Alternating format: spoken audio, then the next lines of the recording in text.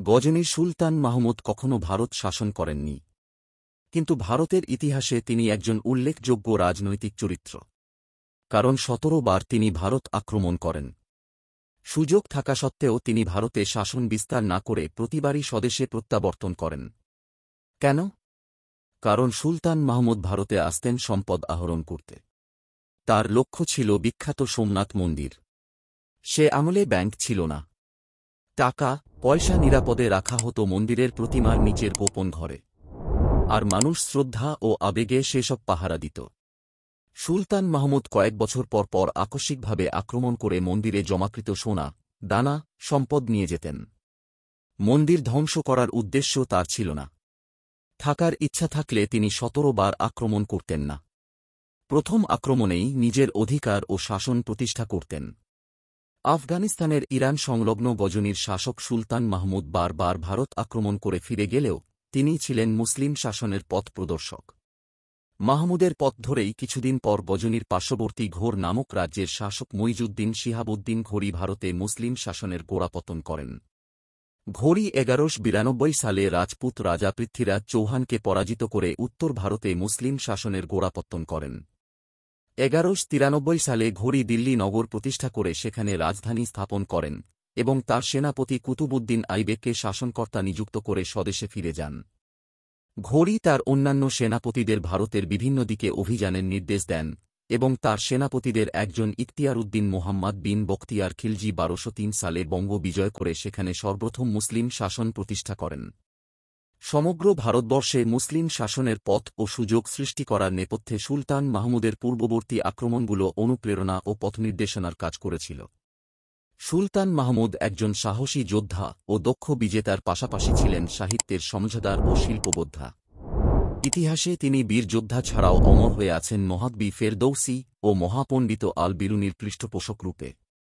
সাহিত্য, কবিতা, শিল্পের প্রতি তার অনুরাগ ছিল ইতিহাসখ্যাত। মহাকবি ফেরদৌসি এবং মহাপণ্ডিত আল বিরুনির মতো বিদগ্ধ ব্যক্তিরা তার নৈকট্য ও সহযোগিতা লাভ করেন। মহাকবি ফেরদৌসি তার জগৎবিখ্যাত মহাকাব্য শাহনামা সুলতান মাহমুদকে উৎসর্গ করেন। সুলতানের পৃষ্ঠপোষকতায় উৎসাহিত হয়ে বিশ্বখ্যাত পণ্ডিত আল বিরুনীয় গুরুত্বপূর্ণ রচনা সম্পন্ন করেন। আল বিরুনি ভারতীয় সমাজ ও সংস্কৃতি কেন্দ্রিক ঐতিহাসিক গ্রন্থ কিতাবুল হিন্দ বা ভারততত্ত্ব রচনা করেন সুলতান মাহমুদের সৈন্যদলের সঙ্গে ভারতে আসা সুবাদে। আল বিরুনির এই গ্রন্থের মাধ্যমেই বিশ্ব প্রথমবারের মতো ভারতের সমাজ, সংস্কৃতি, ধর্ম, বর্ণ, প্রথা, ভূগোল ইত্যাদি সম্পর্কে সামগ্রিকভাবে জানতে সক্ষম হয়। সুলতান মাহমুদ নয়শো একাত্তর সালের দুই নভেম্বরে বর্তমান আফগানিস্তানের সাবেক জাবালিস্তান গজনী শহরে জন্মগ্রহণ করেন। তার পিতা সবুক্তগিন ছিলেন তুর্কি কৃতদাস এবং সেনাপতি, যিনি নয়শো সাতাত্তর সালে গজনভি রাজবংশের প্রতিষ্ঠা করেন। প্রাচীন খোরাসান এবং ট্রান্সক্সিয়ানার সামানি রাজবংশের প্রতিনিধি হিসেবে শাসনকাজ পরিচালনা করেন। মাহমুদের শৈশব সম্পর্কে খুব বেশি জানা যায়নি। মাহমুদের মাতা একজন সম্ভ্রান্ত ইরানি পরিবারের কন্যা ছিলেন। এই সূত্রে ফার্সি সংস্কৃতির অনুরক্ত ছিলেন তিনি। কাউসারি জাহান নামে এক আমিরজাদিকে বিয়ে করেন তিনি এবং মোহাম্মদ ও মাসুদ নামে তার দুই পুত্র সন্তান ছিল। এরা পর্যায়ক্রমে তার উত্তরাধিকারী হিসেবে শাসন পরিচালনা করেন। পরে মাসুদের পুত্র মদুদ গজনভি সাম্রাজ্যের হাল ধরেন। গজনীর শাসন মধ্য এশিয়া, ইরান, আফগানিস্তান ও চীনের কিয়দাংশ এবং ভারতবর্ষের উপর প্রভাব বিস্তার করেছিল।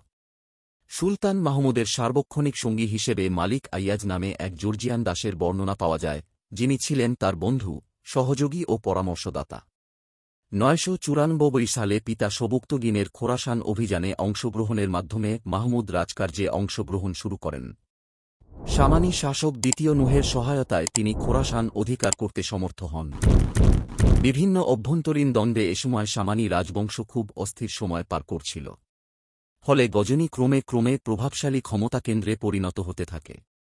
নয়েশ সাতানব্বই সালে সবুক্তগিন মারা যান এবং তার ছেলে ইসমাইল গজনভীর সুলতান হিসাবে মসন্দে বসেন। তবে মাহমুদ তার ক্ষমতাসীন ভাই ইসমাইলের চেয়ে বড় এবং অভিজ্ঞ হলেও বইমাত্রের মায়ের প্রভাবে তিনি প্রাথমিকভাবে ক্ষমতার লড়াইয়ে পিছিয়ে পড়েন। মাহমুদের বইমাত্রের মাতা ছিলেন সবুক্তগিনের পৃষ্ঠপোষক আলাত্তগিনের কন্যা এবং প্রভাবশালী রাজমাতা, যার সুবাদেই ভাই ইসমাইল ক্ষমতায় প্রভাব বিস্তার করার সুযোগ পান। কিন্তু সুলতান মাহমুদ অচিরেই রাজ্য ও শাসনের পরিস্থিতি। নিজের অনুকূলে নিয়ে আসেন। খুব দ্রুতই মাহমুদ বিদ্রোহ করেন এবং তার আরেক ভাই আবুল মুজাফফারের সহায়তায় ইসমাইলকে পরাজিত করে গজনভি সাম্রাজ্যের সর্বময় কর্তৃত্ব লাভ করেন। তিনি তার আরেক সহযোগী আবুল হাসান ইসফারাইনিকে মন্ত্রী হিসেবে নিযোগ দিয়ে গজনী থেকে পশ্চিমে কান্দাহারের উদ্দেশ্যে বের হয়ে পড়েন।